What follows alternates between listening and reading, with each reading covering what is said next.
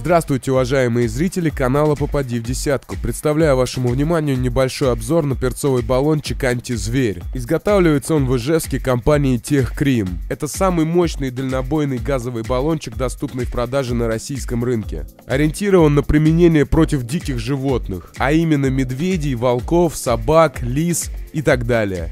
Так как в баллончике увеличена концентрация действующего вещества, его запрещается применять против людей. Баллончик отлично подойдет для походов, для того, чтобы взять его с собой на охоту или рыбалку в какие-либо отдаленные места. Не лишним он будет и в загородном доме, а также в машине. Время полного распыления баллона 20 секунд. Максимальная дальность применения составляет 8 метров. Его действие наступает практически мгновенно, и он обезвреживает нападающего на 40 минут.